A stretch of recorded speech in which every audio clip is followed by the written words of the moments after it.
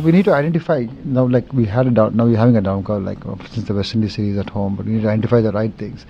It may not be too much technical at all. Sometimes you know it may just be a fatigue thing. It could be a lack of fitness thing.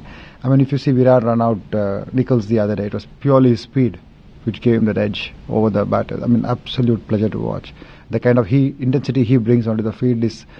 I always say to the younger boys who come in, it's a ready-made template for you to just copy. I mean, just watch him, see what he does. How it's not just about wanting to go there and do well for a player. It's about preparing himself off the field mentally and physically to go there and to be able to do what you really want to do.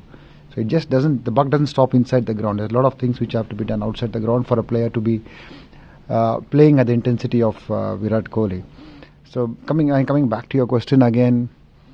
Yeah, there are a lot of things we need to address, which we'll actually have a dialogue with the player and see what is more important for a player, and then go about it in that way.